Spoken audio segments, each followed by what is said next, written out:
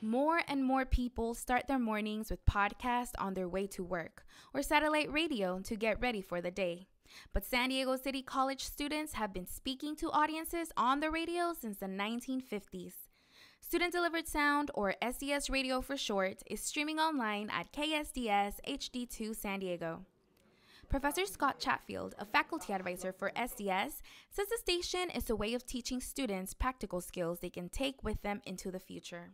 That these are skills that will come in handy with a lot of different things, including when you're on the air and interviewing people. There's sort of a journalistic aspect to it, and how to be professional, how to express yourself, how to run this equipment. Student DJ Tom Weisman says SDS is a place that helps students grow.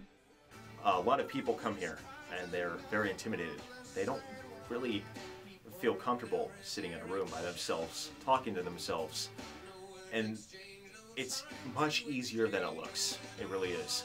He says the radio station is a place for students to showcase their talent. A lot of us have a talent that is worth listening to. A lot of us have a talent that is worth accentuating. And a lot of us have a talent that hasn't been brought out yet. A fresh take on old fashioned radio continues to be a place for new generations to find their voice. Reporting for News Scene, I'm Susana Serrano.